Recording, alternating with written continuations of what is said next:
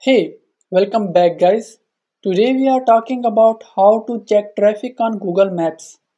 Why would you want to know how to check traffic on Google Maps? Well, maybe it is your first time using Google Maps and not sure how to check traffic on Google Maps. So today I am going to show you how to check traffic on Google Maps. Check video description and I will try to leave the written instructions.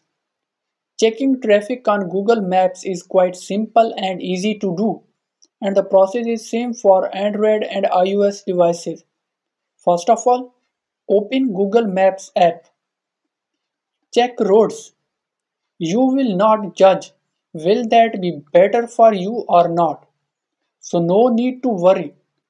Now you are seeing a square type icon. Click on it. Now select traffic map. Now you are seeing three colors green, orange and red. Green mean the road is easy for driving. There is no extra traffic.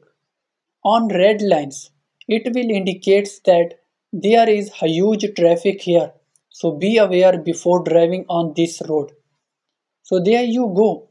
If you are wondering how to check traffic on Google Maps, that is the easiest way I know. If you know another way, please leave a comment below. Be sure to subscribe for more videos.